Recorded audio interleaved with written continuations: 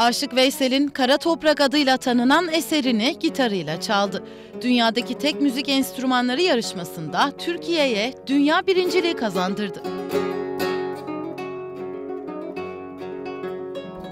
İstanbul Teknik Üniversitesi Türk Musikisi Devlet Konservatuarı öğretim üyesi doçent doktor Tolgahan Çoğulu kendi tasarladığı gitarla Amerika Birleşik Devletleri'ndeki yarışmada Türkiye'yi temsil etti.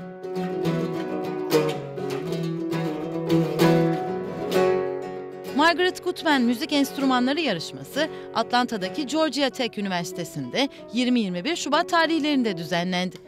Doçent Çoğulu'ya o yarışmada birincilik kazandıran gitarı çok özel. E, gitarın klavyesinde kanallar var. 8 tane kanal var her telin altında. Ve burada gözüktüğü gibi e, bu kanalların içinde perdeler sağa sola istenildiği şekilde oynatılabiliyor.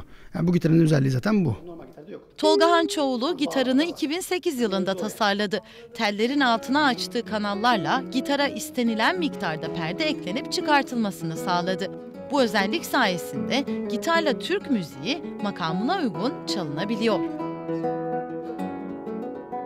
Türkiye'deki makamsal müzik, e, Orta Doğu müzikleri, Anadolu halk müzikleri her şey mümkün bu gitarda. Normal gitarla çalamayacağınız sesler var çünkü.